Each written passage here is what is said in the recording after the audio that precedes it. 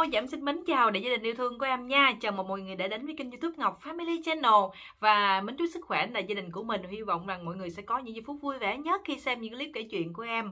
Và đến với chương trình kể chuyện đêm khuya ngày hôm nay, em có một mẫu chuyện cũng khá là vui và thú vị muốn gửi đến cho quý vị. À, câu chuyện có một cái tiêu đề rất là dễ thương cái lờ siêu to khổng lồ thì quý vị ở đây có bây giờ ai thấy cái, cái lời siêu to khổng lồ chưa? Mà hớt hớt hải sợ chưa? Thì đây là cái câu chuyện nói về cái đêm tân hôn của đôi vợ chồng trẻ. Và cái câu chuyện này diễn biến ra sao? Và em mến mời đại gia đình của mình cùng theo dõi cái câu chuyện này nha. Thì câu chuyện như thế này là có hai vợ chồng này là có một cậu con trai à cậu con trai này cứ như 5 tuổi hai chồng sống nhau hạnh phúc lắm. Thì cái anh chồng mà tự nhiên anh sanh tật anh ra đường anh thấy gái đẹp anh nhìn anh nhìn, tao nói nước miếng nó chảy chảy. Tại vì đàn ông mà, thấy à, phụ nữ thì ai cũng rất là thích phụ nữ thôi, điều đó là bình thường thôi. Nhưng mà cái cô vợ mà đàn bà mà ai cũng ghen hết á. Nó đàn bà nào yêu chồng thì cũng sẽ có máu ghen trong người, cho nên là bà không có chịu, khó chịu lắm. Đó, nhăn nhó hoài à mà bây giờ nói ông ông đâu có nghe đâu ông ra đường ông chạy không đa là ông thấy gái đẹp là ông cứ dòm dòm dòm liếc qua liếc lại vậy đó. Thì bà cũng khó chịu. Lâu ngày thì không ngờ là coi như là cái ông chồng này tự nhiên ông đi ra ngoài ruộng á ổng đi bắt cá cái ổng bị leo lên bờ ổng bị gắn gắn độc nó cắn cắn ổng cái ổng nắng nọc độc nó, nó nó mạnh quá thành tử là ổng không qua khỏi ổng mất luôn đó thì cái bà vợ này bà buồn bà buồn nhưng mà cũng gắng nuôi đứa con mình chứ không lẽ giờ buồn rồi bây giờ rồi mình sanh bệnh rồi ai nuôi con mình. Thành thử cái bà cũng gắng cố gắng bà gắng gắng gượng bà làm đủ nghề để nuôi cái đứa nhỏ hết. Thì sau này á, cái thằng nhóc này nè nó lớn lên thì nó lại có một cái um, gọi là nó khờ á. Ngoài ngoại hình thân thể thì cao lớn đó lực lưỡng vậy đó. Thế như là đàn ông là coi như là một trăm phần trăm luôn nhưng mà cái ốc của thằng nhóc thì nó chỉ có giống như là một cái đứa bé 5 tuổi vậy đó. Nó rất là khờ ai nói gì cũng tin hết mà không có biết gì hết trơn á. Thì sau này nó lớn lên tới khi thằng nhóc này được hai hai mươi tuổi ha thì bắt đầu là nó hỏi bà mẹ má ơi à, ba con tại sao lúc trước mà tại sao ba con mất vậy? Đó thì nó mới hỏi nguyên nhân lý do gì ba nó mất. Đó nó muốn biết. Thế là má nó mới nói chứ bây giờ nếu mà mình nói cái lờ cắn chết mình mình nói là uh, con con rắn nó cắn chết ba nó rồi nó sợ nó không dám ra ruộng sao. Cho nên là bà mới giả bộ bà nói là bà ghét ông chồng bà bà nói là ông chồng hồi xưa mê gái thôi mà. Thành thử đạo bà mới nói là cái lờ cắn chết ba con cái lờ của má cắn chết ba con. Trời ơi thằng nhóc nó nghe xong rồi nó biết rồi nó dạ dạ nó sợ luôn. Quý vị biết không? Từ đó về sau á nó mới ghi nhớ là cái lờ là nó nguy hiểm dữ lắm. Đó thì cho đến một ngày nọ thì bà mẹ mới kêu đứa con trai lại nói bây giờ á là con trai lớn rồi con cũng nên kiếm cháu nội cho má. Bây giờ má sẽ à, má ham cháu nội lắm. Đó thì bây giờ má muốn à, lấy vợ cho con con chịu không? Thì thằng nhóc nó nghe nói là lớn rồi thằng anh này anh anh anh, ảnh là một cái thằng thanh niên rồi. Nghe nói lấy vợ thì thay vì người ta mừng. Còn ông nội này ông quýu lên ông nói con không lấy vợ đâu con sợ lắm thì má nó mới nói, sao sợ con? Nó vợ vui lắm, sướng lắm. Có vợ nói chuyện con, có vợ nấu cơm cho con ăn, có vợ kể chuyện cho con nghe. Chịu không? Thì bắt đầu là mới đầu ảnh không chịu, nhưng má nó nói nhiều cái à, vui vậy thì nó thích quá cũng như có người bạn vậy, thì nó mới nói gật đầu nó chịu. Thì à, cái anh này ảnh chịu anh chịu lấy vợ rồi thì bà mẹ rất là mừng. Bà mới nhờ người mai mối cho một à, cái cô gái ở bên xóm bên á. Đó, thì cái cô này cổ rất là đẹp, mà cổ siêng năng nữa. Mà cổ thì là một người rất là bình thường, đó, cổ rất là đẹp luôn thì cổ đâu có biết là anh chồng này anh khờ đâu đâu có biết. Nó bắt đầu là lấy về thì cũng không biết nữa. Tới khi đám cưới không biết thì tới khi à, tối hôm đó đó là động phòng ha. Đó, thì động phòng thì cái cô này cổ là đàn bà, con gái mà mới lớn, thì tưởng là cổ biết gành cái chuyện kia lắm thử cổ biết hết. Nhưng mà cái anh này thì ảnh rất là sợ cái cô vợ. Quý vị biết sợ gì không? Thì cái anh này ảnh không biết ảnh sợ cái gì luôn, mà ảnh lấy thay vì đêm tân hôn thì chú rể cô dâu đi tắm xong rồi vô động phòng. Nhưng cái anh này anh cũng tắm xong, cô dâu tắm xong, bước ra thì thấy ảnh quấn cái mền kính mít luôn. Trời ơi trời ơi, hết nói luôn. Ông lấy cái quần, ông quấn ha ông ông quên, ông lấy cái mền á. Ông nội nè, ông quấn cái mền thành mấy mấy lớp gì đó. Dày côi luôn, ông không có buông ra. Thì cái cô vợ mới nằm xuống thấy, ủa sao mà mình bận đồ ngủ dễ thương vậy đẹp vậy mà sao chồng không có ngắm nhìn mình mà cứ nhìn vô bức tường hoài? Làm như chồng mình nó bị bệnh gì á. Cái cô vợ mới hỏi, anh ơi, anh có bệnh gì không? Không không, anh không bệnh gì em ơi. Ủa, sao mà anh không bệnh? Sao nó mà tháo mền đi? Trời, nóng nực như vậy mà anh chùm mền vậy, anh anh có nực không? Chứ em thấy anh chùm em cũng nực dữ lắm á à, tôi, anh anh anh không có quấn anh anh quấn gì anh thích quấn gì anh không có gỡ được đâu em ơi. Ủa mà sao nó gỡ rồi đi? Bây giờ là tối này hai chồng mình ngủ rồi chuẩn bị động phòng tối nay động phòng mà làm chuyện đó đó. Anh bộ anh không biết hả? Nói à, anh sợ lắm. Bắt đầu cái cô cái cô vợ thấy chắc con chồng chắc cũng bị bệnh gì thôi kệ để. Cái tối hôm đó cô vợ ngủ mình cũng buồn cũng ấm ức lắm nhưng mà cũng phải im luôn chứ sao giờ qua ngày thứ hai thì ông nội cũng quấn cái mền cứng ngắc y vậy luôn. Thì qua ngày thứ ba cũng y vậy luôn. Thì nhất quá tam cô này cô hết chịu nổi à. Gái mới lấy về mà tự nhiên coi coi chưa có động phòng được ngày nào hết mà cứ quấn cái mền vậy đó. Thì cái cô vợ này kỳ này cũng khó chịu quá cô bực quá cổ mới hỏi thẳng anh chồng.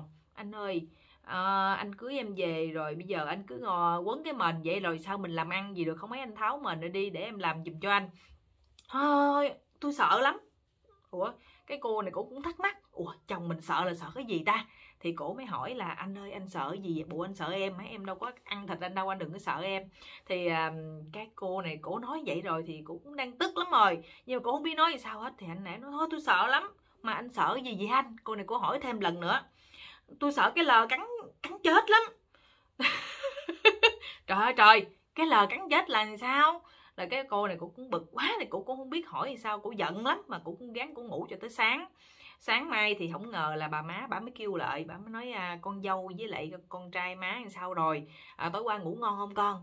Thì cái cô này cũng mới buồn. Cái bà mẹ bà hiểu à bà mới hỏi sao vậy con? Bộ à, chồng con không có thương con hay là nó la con hay sao con giận mà con buồn. À, nói con dâu nói cho má nghe coi. Trời đất coi lần đầu tiên có một bà mẹ chồng thương con dâu hú hồn luôn. Thì cái cô này cổ mới nói dạ uh, chồng của con kỳ lắm má ơi. Ba đêm liền mà ảnh cứ chùm mình kính mít à. Con hỏi ảnh thì ảnh nói sợ lắm sợ cái lời cắn chết.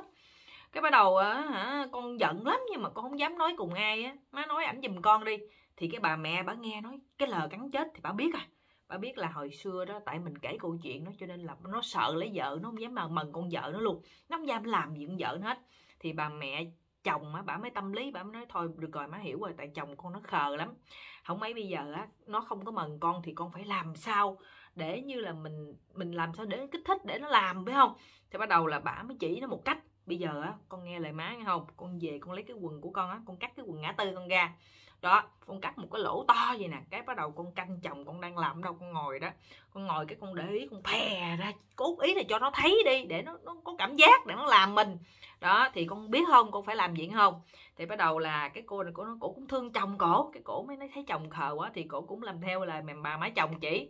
Cái lúc ông chồng ổng đang à, anh chồng khờ nè anh đang ngồi anh anh rọc cái cây trúc á, thì bắt đầu là cái cô vợ này nè, cổ mới, cổ ngồi trước mặt ông chồng đó cố ý là người ta đã cố ý người ta ngồi ngay trước mặt rồi thì bắt đầu cô vợ cũng ngồi mà anh chồng cũng đem dòm luôn. Mà bà ngồi bà, bà giang cái chân ra tại bà đang bận cái quần mà cắt cái ngã tư đó quần đó thì đó để ngồi vậy đó. Thì bắt đầu là cố ý cho ông nội này ông thấy ai về là ông không nhìn. Cái bà mới tức quá cái cô vợ này cổ mới nói chứ anh ơi anh ơi anh nhìn em nè. Thì anh chồng anh bực quá anh đang làm việc phải quay qua dòm. Thì ai nghe ông ông nội ông dòm thấy ông dòm thấy cái đó ông sợ quá ông mới cầm cây chút ông quơ lên mày hả mày? Tao không sợ mày đâu. Tao không sợ mày đâu. Thì cô vợ cô thấy cô thấy ông chồng bệnh nặng quá rồi, tự nhiên cái cái chút quơ mình, tự nhiên ông thấy mình ông cảm giác ông còn quơ mình á. Thì cái cô vợ cổ mới sợ quá, cổ sợ quá đi. Thì bà, cổ mới địch tẹt tẹt. Địch địch tẹt tẹt vậy đó. Thì anh chồng anh nghe xong anh còn sợ hơn nữa. Ông chạy vô ông chạy một mạch vô ông dùng cái chút chạy một mạch vô, mét má ổng à, má ơi má ơi trời thấy ghê quá ơi trời thấy ghê quá. Cái bà má nói gì vậy con? Trời trời tao nấu cơm mày làm gì mày la tôi hết hết hồn vậy. Trời trời má ơi cái ghê quá. Chuyện gì đâu bình tĩnh nói má nghe coi con. Chuyện gì? Trời ơi má ơi trời ơi má, má nói cái lờ đúng rồi đấy thấy ghê quá. Con mới cầm cái chút con quơ quơ gì nè.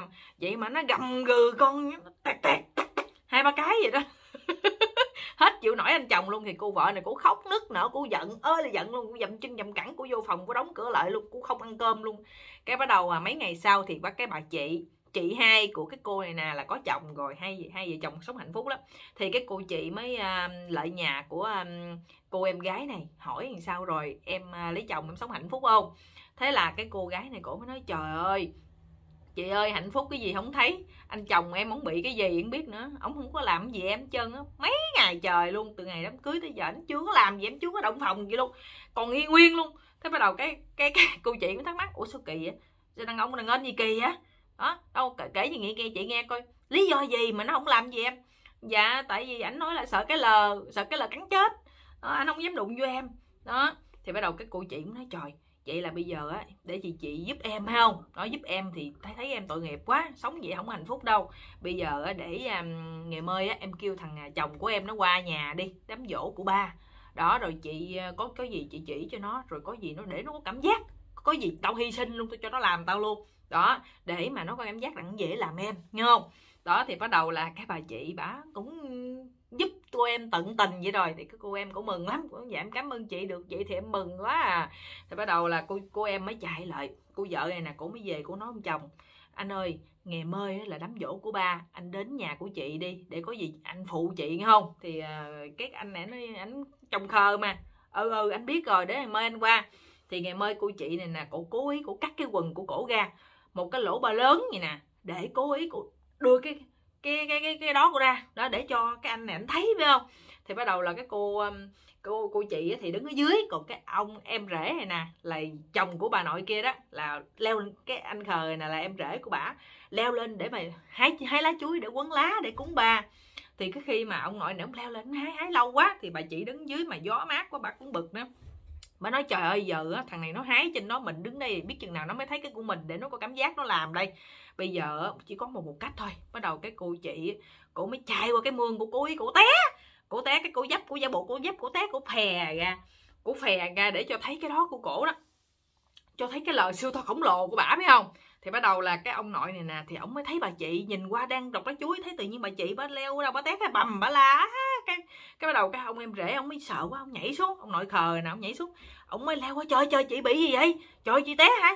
Trời! Ông nội ông thấy ông thấy cái siêu to khổng lồ đó. Thì ông mới nhìn, ông nhìn nó trời ơi, chết rồi chết rồi. Chị chị té, chị chị dấp ở đâu mà bây giờ cái cái gì nó đâm nó đâm chị mà có thẹo luôn vậy? Trời trời, chết rồi. Cái bắt đầu ông leo lên cây chuối đó, quý vị không? Ông mới hái cái đọt chuối, ông nhai giống như là dân gian, ta có cách là để cầm máu đó. Tại vì đã té mà đâm mà lũng cái lỗ tổ, lỗ to như vậy thì bây giờ phải lấy cái đồ cầm máu để nhét vô đó. Đó, để cầm máu lại. Bắt đầu ông nội ông nhai ngay ngay ngay ngay ông chạy vô, ông đắp vô cái lỗ của bà chị. Nhét vô để cho nó hết bị chảy máu nè trời ơi, phải cầm máu chị ơi. Trời trời, mày làm gì vậy trời? Tưởng đâu là là làm vậy để giúp cho nó có cảm giác. Ai về đó nó cùng quá trời cùng nó lấy cái lá chuối nó nhét vô. thì đây là cái câu chuyện cũng khá là vui. À, thì em mến chúc quý vị một ngày thật là nhiều niềm vui và nhiều sức khỏe nha. À, xin chào và hẹn gặp lại mọi người trong những clip tiếp theo nha. Xin chào.